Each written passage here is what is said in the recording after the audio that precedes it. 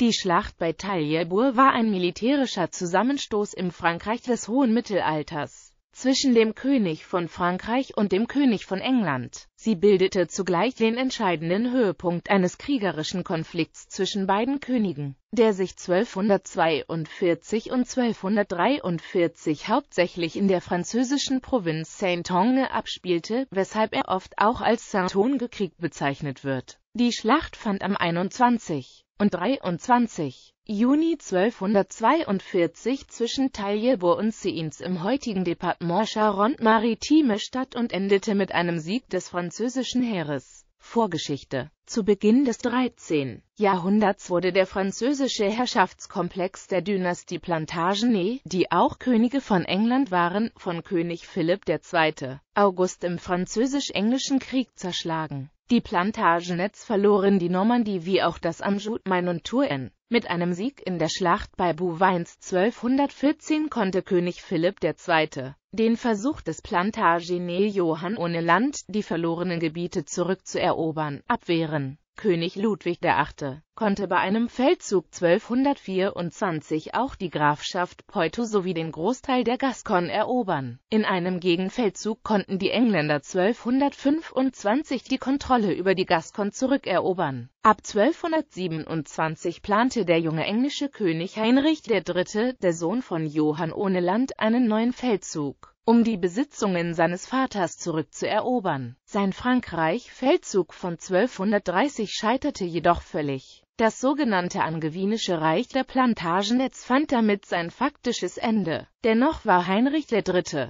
nicht bereit, die Verluste seiner Familie anzuerkennen. Nachdem im Juni 1241 der französische König Ludwig IX. seinen Bruder Alphons als Graf von Poitou eingesetzt hatte, plante er angesichts dieser Provokation sofort einen neuen Gegenschlag.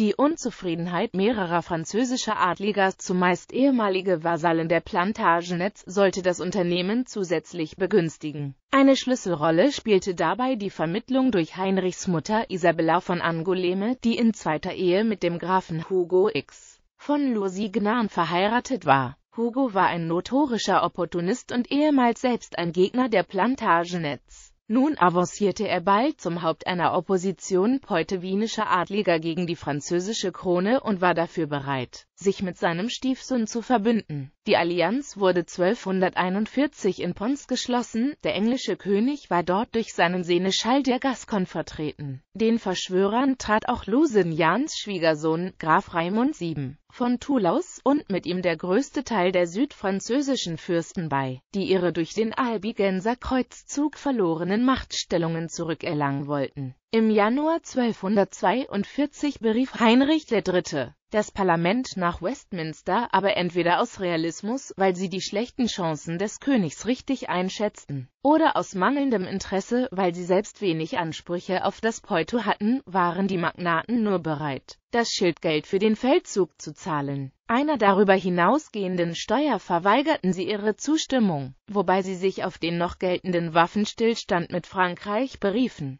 Heinrich III. ließ sich jedoch nicht von seinem Ziel abbringen. Er ernannte während seiner Abwesenheit den Erzbischof von York zum Regenten von England, ordnete an, dass ständig 15 Mansoul-Kerzen am Schrein von Eduard dem Bekenner in Westminster Abbey brennen sollten und bestimmte für den Fall seines Todes Königin Eleonore und ihr Onkel, nicht jedoch seinen Bruder Richard von Cornwall zum Regenten für den unmündigen Thronfolger Eduard. Er konnte etwa 35.000 Pfund für den Feldzug aufwenden, wovon fast die Hälfte durch die Besteuerung der Juden erbracht wurde. Obwohl sieben englische Earls ihn begleiteten, bestand seine Streitmacht dennoch aus kaum 200 Rittern, von denen etwa die Hälfte aus seinem Haushalt kam und dem dazugehörigen Fußvolk. Nach einer Wallfahrt nach Ostengland brach der König mit seinem Heer am 9. Mai 1242 von Portsmouth aus auf einem komfortabel eingerichteten Schiff ins Poitou auf. Kriegsbeginn Zu dieser Zeit hatte der Konflikt zwischen den abtrünnigen Vasallen des französischen Königs und ihrem Oberherrn bereits begonnen. Hugo X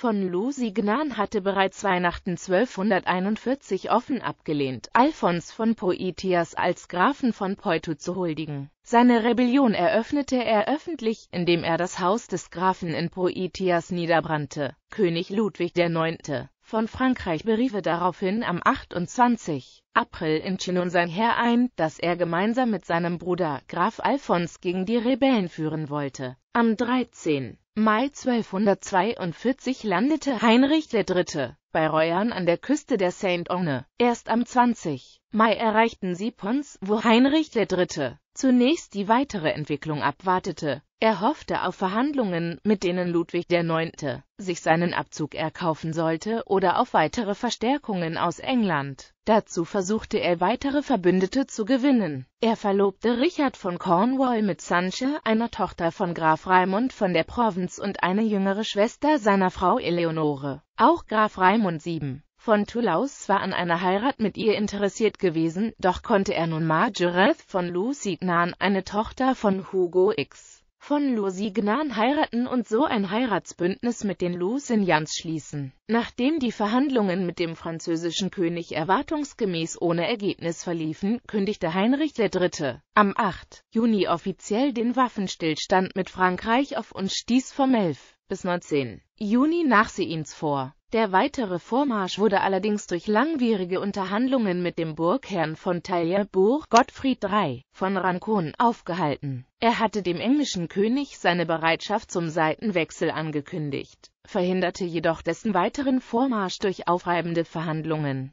Heinrich III. zog sich daraufhin am 19. Juni wieder nach Saints zurück. Das französische Heer war unterdessen durch das Poitou in Richtung Saint-Onge marschiert. Dabei eroberte es am 4. Mai Poitiers und mehrere Burgen der Aufständischen wie Beruge, Frontenay, Saint-Gelais und Torre. Heinrich III. unternahm nun wieder einen Vorstoß nach Taillebourg und besetzte die strategisch wichtige Steinerne Brücke über den Charente, um den weiteren französischen Vormarsch zu stoppen. Am 20. Juli erreichten die Franzosen das am rechten Ufer der Charente liegende Taillebourg dessen Herr sich nun wieder offen zum französischen König bekannte. Die Schlacht, ob bereits am 20. oder erst am 21. Juli der Angriffe des überlegenen französischen Heers auf die Brücke begann, ist ungeklärt. Die Schlacht war mehr ein erbittertes Gefecht, in dem die Franzosen zu Lande und durch mit Armbrustschützen besetzte Boote die Brücke angriffen. Die Entscheidung brachte schließlich eine von den Franzosen flussabwärts errichtete Boots- und Poteau-Brücke, über die die Franzosen auf das linke Ufer der Charente vorstoßen konnten. Richard von Cornwall erkannte die Gefahr und riet seinem Bruder Heinrich III. zum raschen Rückzug. Als respektierter Kreuzfahrer konnte Richard von Cornwall einen 24-stündigen Waffenstillstand aushandeln, der den Engländern den Abzug, vielmehr die Flucht nach Seins ermöglichte.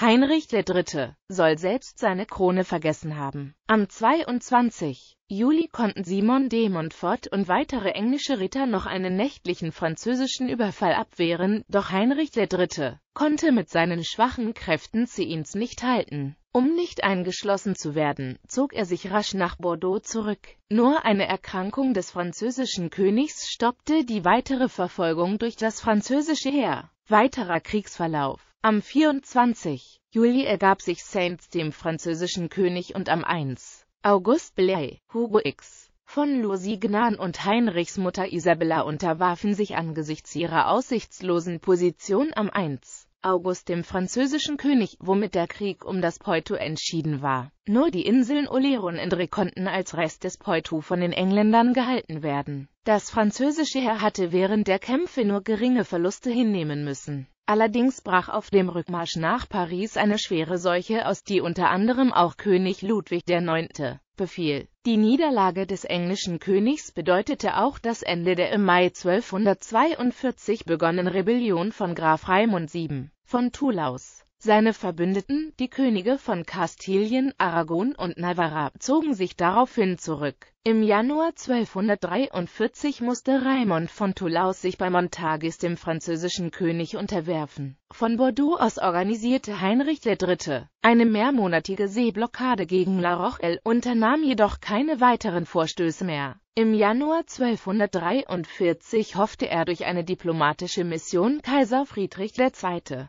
Zu einem gemeinsamen Bündnis gegen Frankreich zu gewinnen. Nachdem dies aber scheiterte, brach er die Blockade Anfang März 1243 ab. Am 5. April 1243 schloss er mit Ludwig IX. einen Waffenstillstand für die Dauer von fünf Jahren. Heinrich III. blieb noch mehrere Monate in der Gascogne, ehe er nach England zurückreiste und am 9. Oktober wieder Portsmouth erreichte. Folgen Aufgrund des fehlgeschlagenen Feldzugs vermied Heinrich III. in den nächsten Jahren größeren Konfrontationen. Er unternahm keinen weiteren Feldzug gegen den französischen König, sondern verlängerte 1248 und 1254 jeweils den Waffenstillstand um fünf Jahre. Von 1252 bis 1254 musste er in der Gascogne einen Aufstand, der vom König von Kastilien unterstützt wurde, niederschlagen Darüber versöhnte er sich mit Ludwig IX. und angesichts der Adelsopposition in England schloss er 1259 den Vertrag von Paris, mit dem er auf seine Ansprüche auf die verlorenen Länder seines Vaters verzichtete und seine verbliebenen Besitzungen in Südwestfrankreich als Lehen des französischen Königs erhielt. Darüber hinaus sollte er nach dem Tod von Alphons von Poitiers die südlich der Charente gelegenen Teile der Saintonge zurückerhalten